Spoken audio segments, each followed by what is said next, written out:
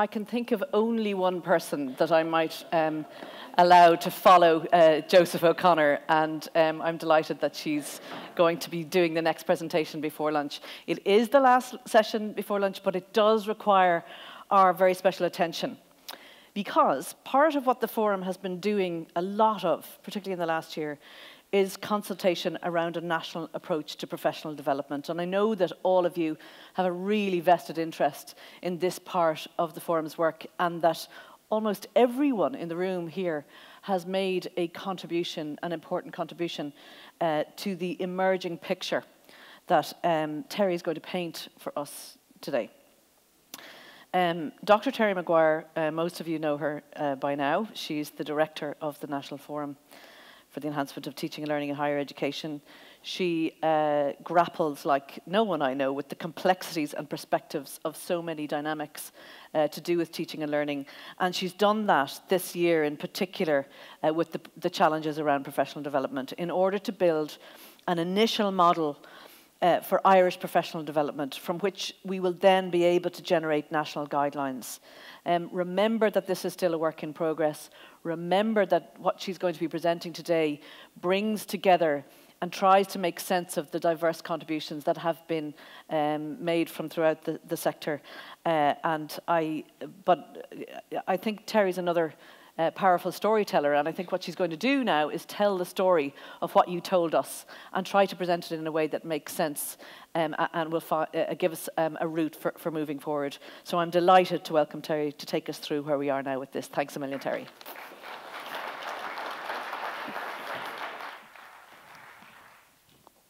Thanks a million, Sarah. I'm not sure I'm going to do it as well as Joseph O'Connor just did.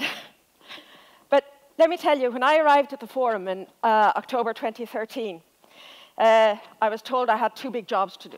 I had to write a roadmap for building digital capacity for higher education, and we had to develop a professional development framework. No pressure then, first day on the job. I said, okay, so what do we do?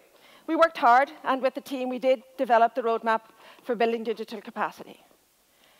We spent the first nine months uh, working, looking at professional development and what was happening internationally. We actually went, went to hear and to see what, how have other higher education systems tackled this issue. And then we realized that we didn't have any national data. We didn't really have a clear picture of what was already happening in the sector. So we took time to look nationally at the sector, at what the accredited professional development that was on offer, what non-accredited professional was, development was on offer, the, the, what was actually happening in the disciplinary groups. And we pulled it all together. And it culminated in the 10th of March with an actual a document on professional development for consultation. And that was only the start of the process. So what we did, Sarah and I went out and we actually met uh, 22, in 22 different institutions. We talked face to face with lecturers, with senior staff, with heads of department about professional development. And what was interesting about that, which was quite an iterative process, because when it actually started, we actually got some ideas from the conversation. And we would integrate those ideas into the next conversation and the next conversation. We also opened up the consultation for submissions, and we got 41 submissions. So what we did with those was we, we read every one of them many times and said, what are the top 10 things you're saying to us through this submission? What are the key things for you that this professional development framework should have? I'm not sure we've got it right. We've done our best to try and interpret what you've said. I think one of our biggest lessons we learned was from our interviews with existing professional development bodies. And we weren't interested in how their standards worked or anything like that. We said to them, How did you do it? And they gave us very good advice. They said, Take very small steps and consult loads. So this morning is one of those small steps. What we've done is actually to try and interpret from all of this, these months of work what kind of a model of professional development would actually suit Irish higher education in our context. So what did you tell us? Well, the first thing you told us, which was very insightful, was what types of professional development, what do you consider to be professional development? There was a strong voice for please don't have professional development considered as just something that's accredited. Remember the conversations we have in the tea rooms. Remember the conversations we have at events like this, talking to people. That is as important in terms of professional development they said, don't forget that some of us have interests. And we have, for example, we may be interested in problem-based learning. We might have a particular technique that we use. We might be sort of sharing that, trying it out in our class. We go to conferences. We give papers. We, we share our ideas. Allow the framework to actually include that. Allow the framework to include all the, the, the structured accredited professional development that's offered through our institutions. And there's a huge amount currently being offered. And is there any potential for that to be able to be accredited in some way? So that's something that we need to consider. One of the other things that was very, very strong was you said, whatever we do, we need to make sure the Irish professional development is very values based, that it has a very strong values base.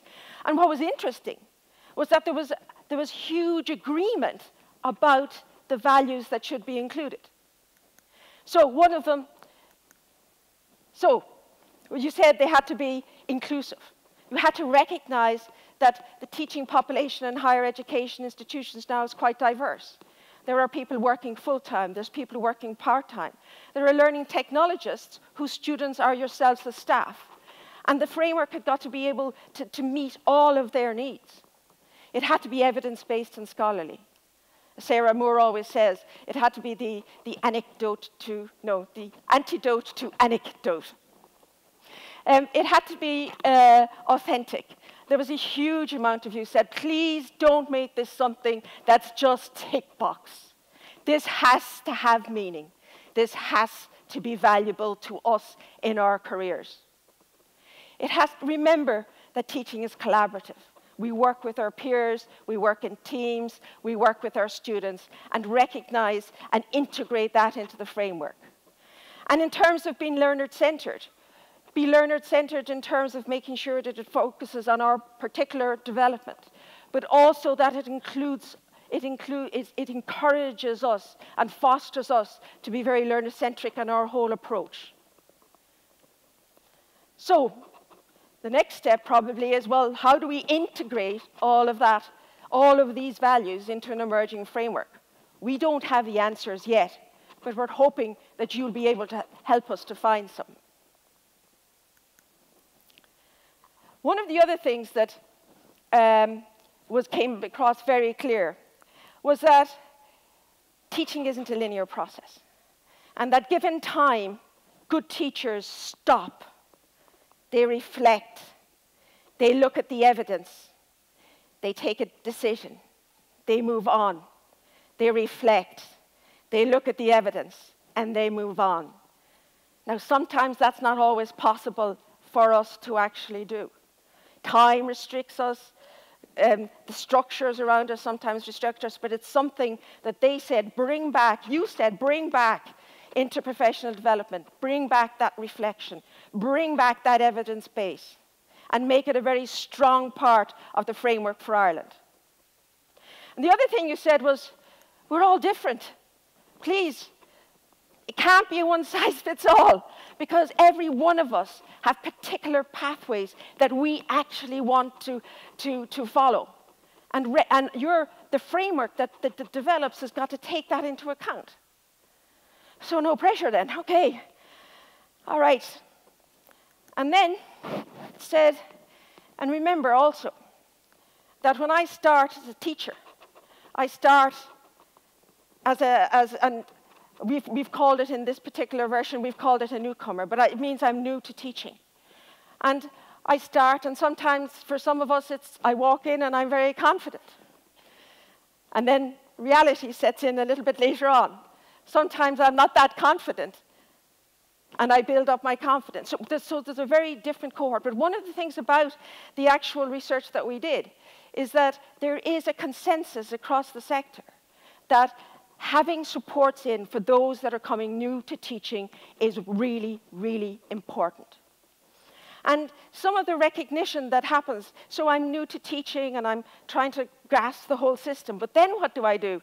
I've delivered my first set of modules and maybe I've even done them twice and you know it went well I felt I'd done better the second time and and you come to that stage in, in your career where you say well you know I'm willing to try new things now so we're trying to capture it by looking at calling it a practitioner and the words here we need your help we don't know what the right words are but I'm trying to explain to you what we mean, and hopefully together we can find the right words to actually, um, to actually use. So at, at the practitioner stage, you're in teaching a few years, or a couple of years, you're getting a bit more confident, you're willing to try, you're perhaps contributing to module developments.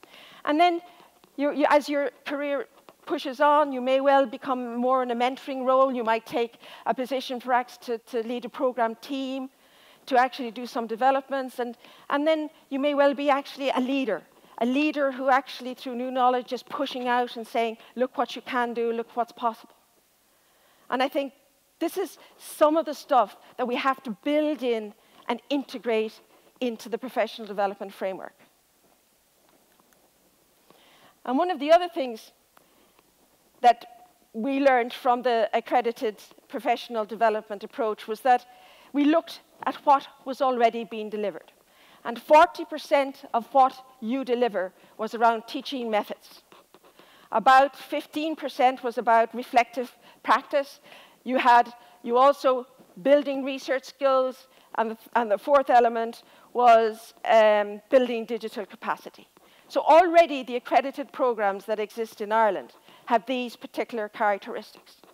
So we said, okay, what else has come through from what you've been saying to us? What else has come through? We looked at all the learning outcomes, but we didn't hear the, the conversation around it. So, what else has come through? One of the things that came through was you're very important. What you bring in to the classroom is really, really important. And I think that was really exemplified by our work with the heroes. These were individuals that brought into the classroom their own attitudes, beliefs, and they did something with it and that I think we need to make explicit as part of a framework that we have to be conscious of what we ourselves are bringing into the classroom and how good and bad that actually impacts on our teaching. Another thing that came through was that the sector itself is very diverse and it's changing rapidly. And the way that we're actually working now is quite different to the ways that we're working in five years. Pathways within institutions are changing.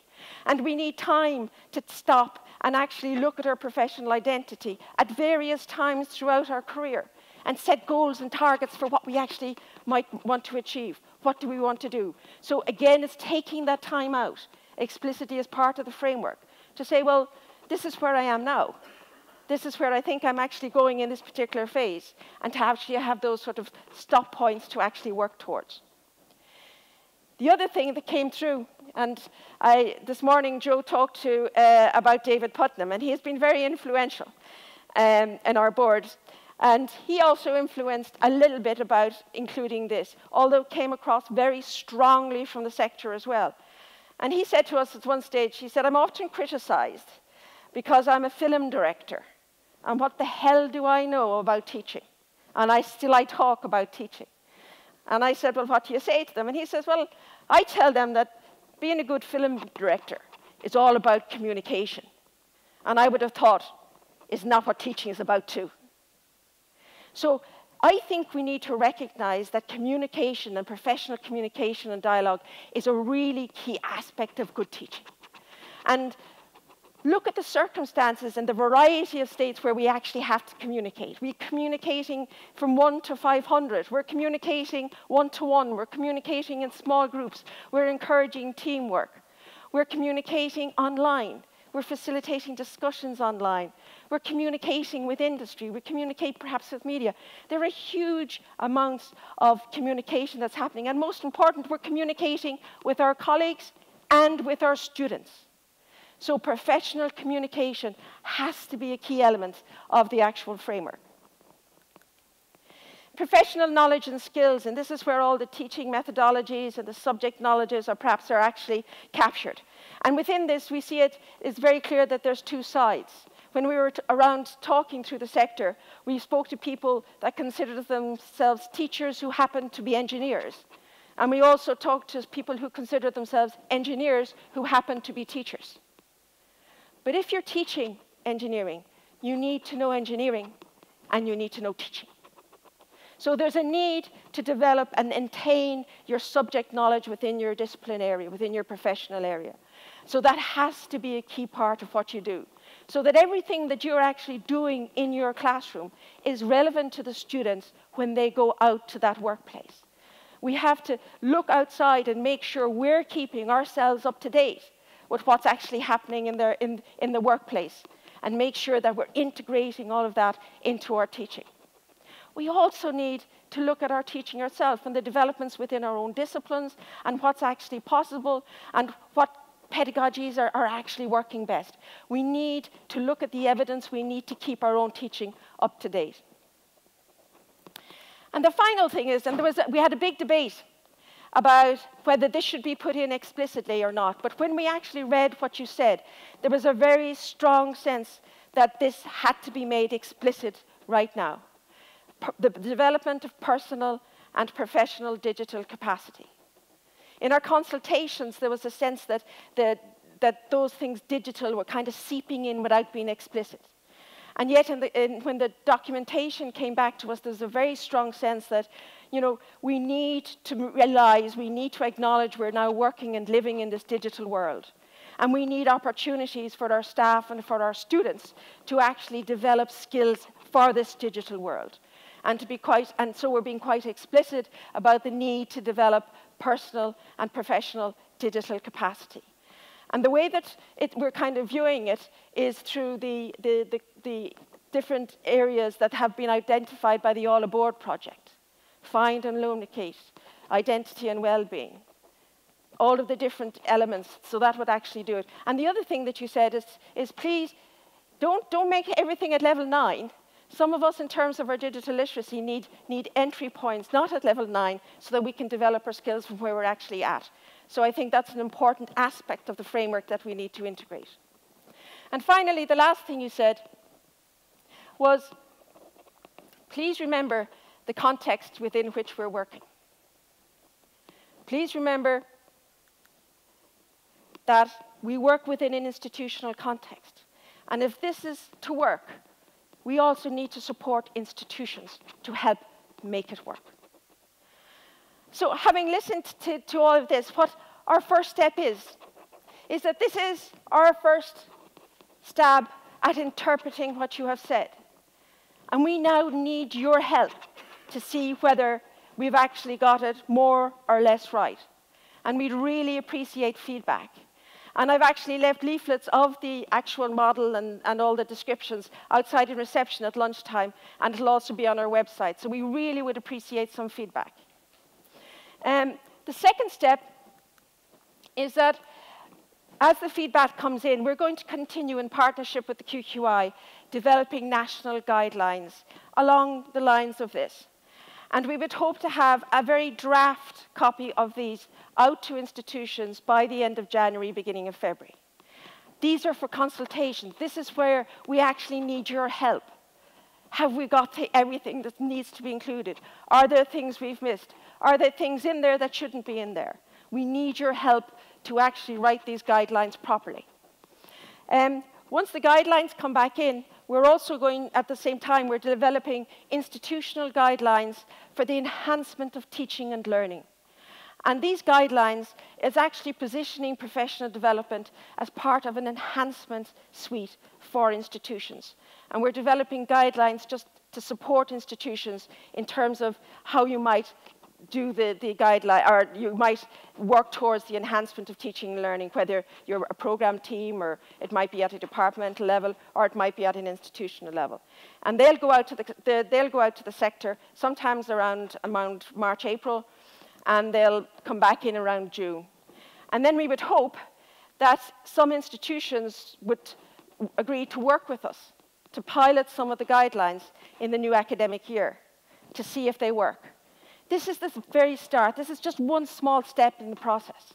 And I think we have to go slowly. And I think by working together, we can make sure that we have a professional development framework that suits our needs and our contexts. Thank you.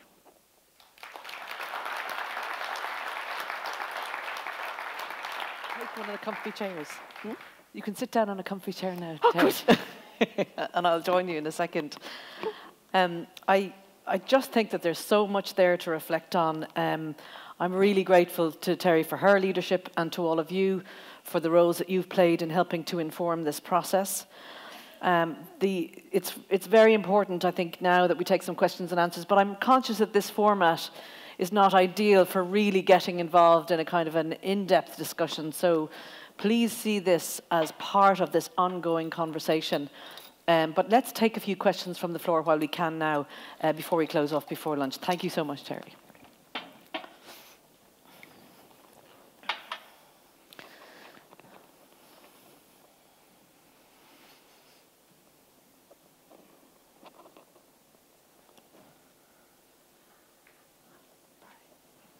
Thank Is you. that Barry? Ba- Barry Yeah. O'Callaghan. Um, I chair the Leading for Learning group with the second level Principals and Deputies Association. Uh, just a few comments, uh, Terry. Um, CPD, we all know what it means. We all are very versed with, it, with the three letters and what exactly it means.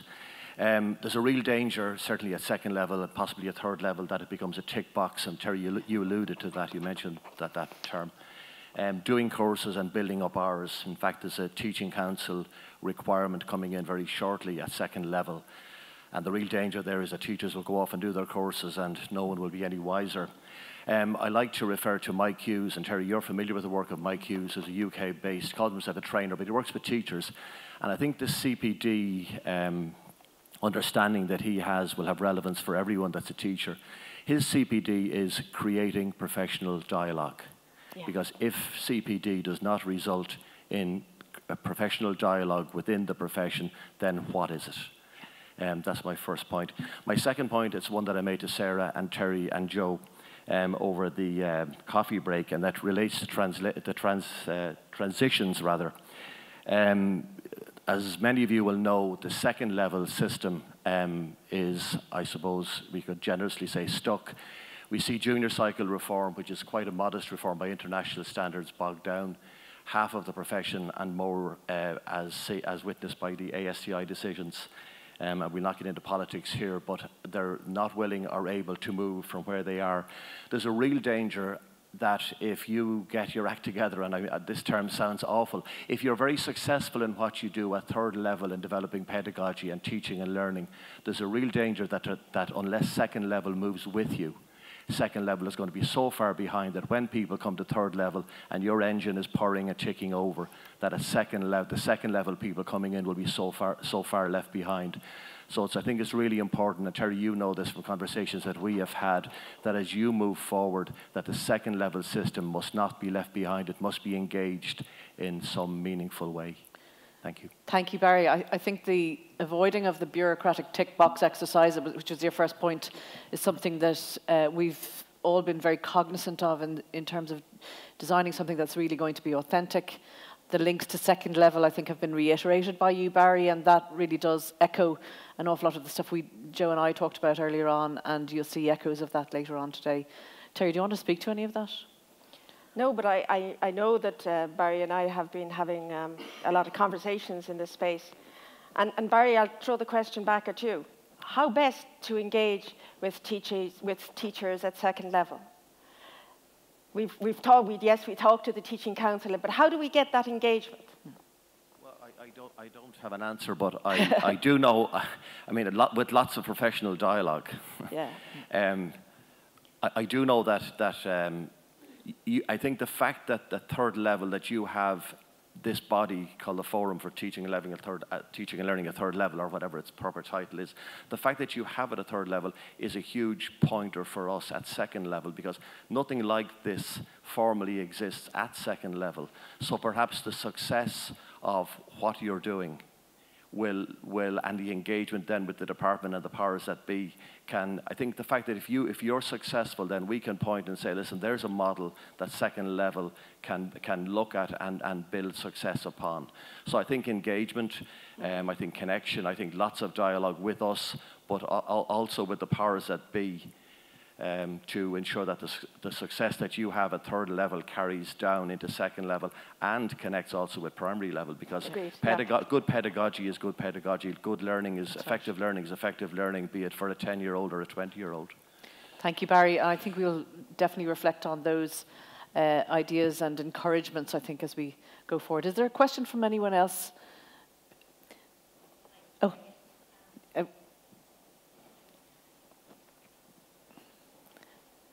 Thank you. Um, I'm, I'm really interested in the professional development framework. I'm dying to, um, to get more involved and to see it worked out and to see it used as a tool, a support tool for educators, a tool to help us clarify, along with our institution, what our goals are um, so that we can be all singing the same hymn sheet.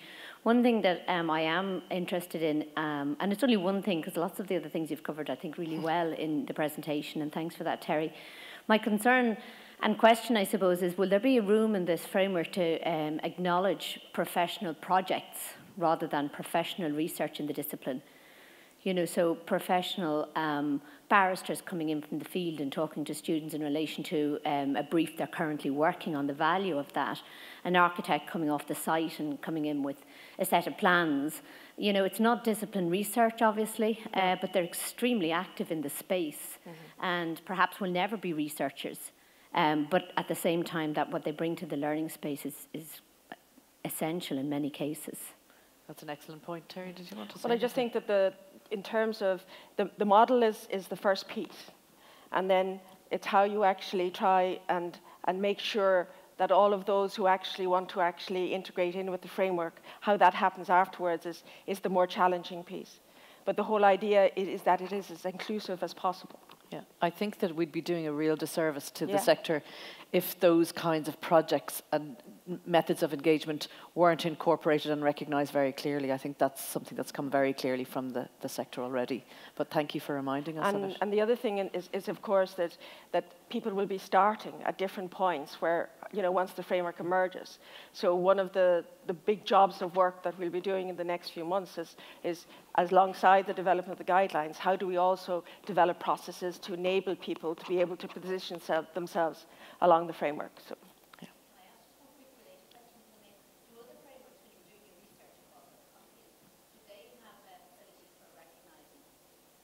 Do other countries have that facility for recognising uh, professional projects on frameworks? Does anybody know? I actually didn't come across it. No, I haven't either, but, but, I haven't done a lot yeah. of research. So it's just curious. I mean, it might be something it could be something exciting and innovative, or it could be something that we'd be in trouble for. But anyway, we can. But we should keep it on the table for discussion and see, and see how we can carve yeah. it out. Yeah. And I think that that also raises another important point, though, and that is what is made explicit. I mean, we don't want to create something that's going to be to straitjacket institutions, um, no. and yet at the same time, there are certain really core ideas and values um, and um, dimensions that will need to be made really explicit. And so it's, it's striking that balance and thinking through that. And I think you're quite right, um, because something that looks perfectly um, uh, logical in one context can be very contentious in another. And I think we just need to be very cognizant of that. So thank you. Is there another question? That I think we have time for one more. Yeah. Are we on you, Terry? Yeah. Hi, Brian. How are you keeping? Um, my, my kind of take on all of this is I'm curious as to where the whole digital technology thing is going as regards all of this, you know. And more importantly, I suppose it's, it's a question for you guys in terms of what influence does the forum have on the department in terms of us rolling out more digital technology in the institutions? I mean, what kind of role can you guys play in that? I mean, does the minister listen, for instance? I am talking in terms of finance, really, you know, that we need, to, we need to upgrade an awful lot of the institutes in terms of our digital capacity. Yeah, okay, perhaps I'll just answer that. One of our pre-specified projects, Brian, which is initiating actually on the ground on the first, of, probably around the 1st of January, is actually to do a review of the current infrastructure within institutions. And the actual scope for this project was designed by the actual sector itself. So the, the criteria in terms of reference were, were agreed. And that's going to take nine months. And I think, again, because the information isn't there, this will be the first time that there will actually be information, real information, about the infrastructure across higher education. And I think we'll be much better placed then to see where we are and if we are to develop what actually needs to be done. I'm going to draw the discussion to a close. There's going to be plenty more time to interrogate Terry and me about how we made sense of all of your consultations. Um, enormous thanks again to all of you for the role that you played, and particular thanks to Terry Maguire for presenting it in the way that she did. Thank you so much. Thank you.